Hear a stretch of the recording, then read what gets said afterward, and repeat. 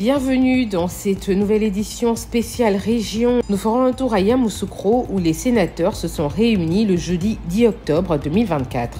Et à Mans, un don de fournitures a été fait à des écoles primaires. La création de l'Association des Sénats d'Afrique se dessine à l'horizon.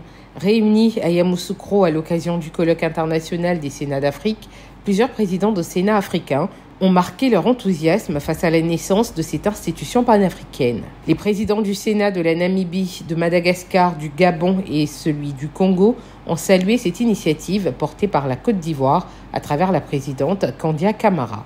C'était à l'occasion de la cérémonie d'ouverture de la deuxième session ordinaire du Sénat de Côte d'Ivoire et celle du colloque international des Sénats d'Afrique à la Fondation Félix Houphouët-Boigny de Yamoussoukro. Chers collègues, nous devrons être déterminés à penser ensemble le format adéquat de la mutualisation de nos visions politiques en matière d'élaboration de nos stratégies relatives aux objectifs de développement durable des Sénats d'Afrique en faisant aboutir le projet de création de l'Association des Sénats d'Afrique.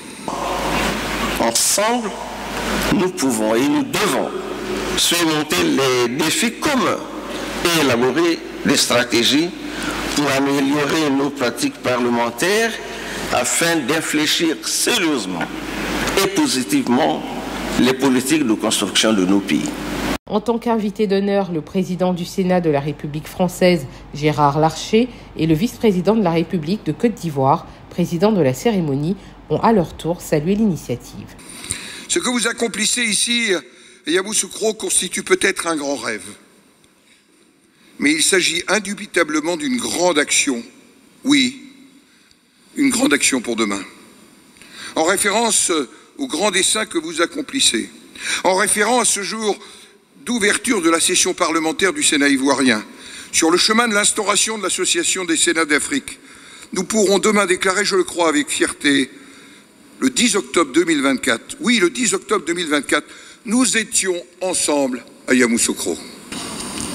Il vous revient donc à vos parlementaires de promouvoir cette institution auprès de nos concitoyens et de veiller à ce qu'elle joue pleinement son rôle dans le renforcement de la gouvernance démocratique.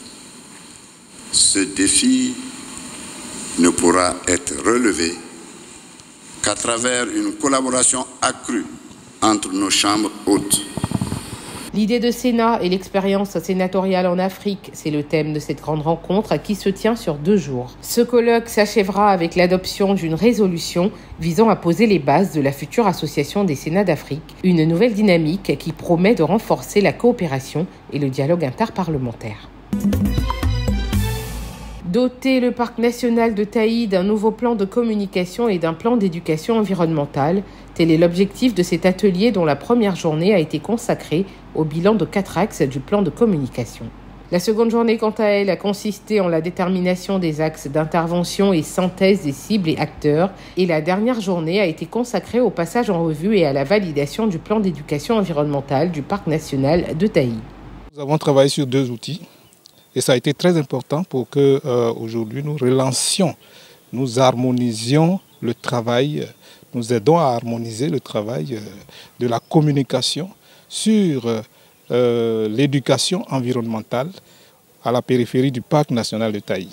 Le colonel Célestin Yapo Adompo, chef de la cellule éco-développement à la direction technique de l'Office ivoirien des parcs et réserves, s'est dit très satisfait du travail abattu au cours de cet atelier et exhorte les gestionnaires à prendre en compte les recommandations pour mieux protéger le parc.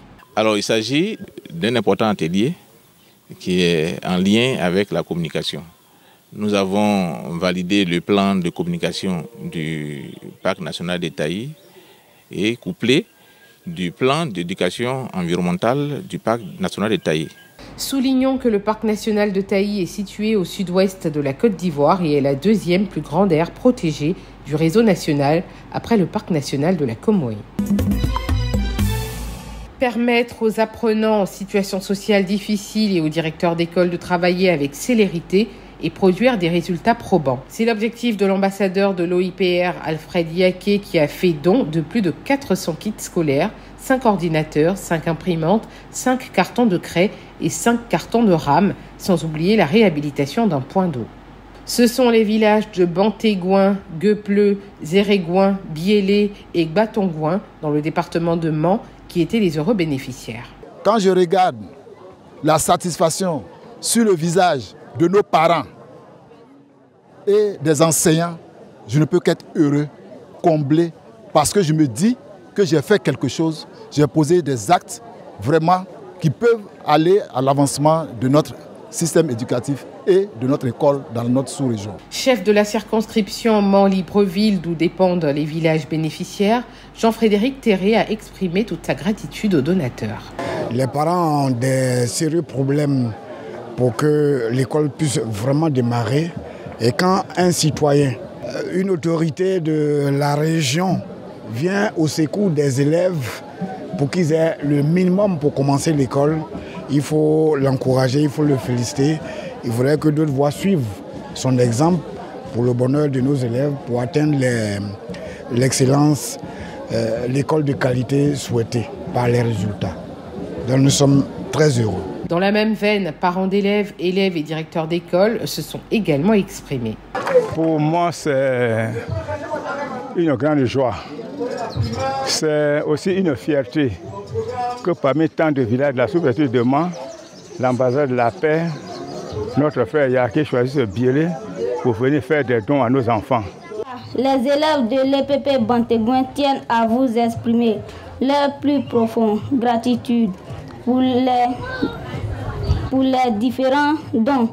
Votre contribution nous permettra de bien travailler à l'école.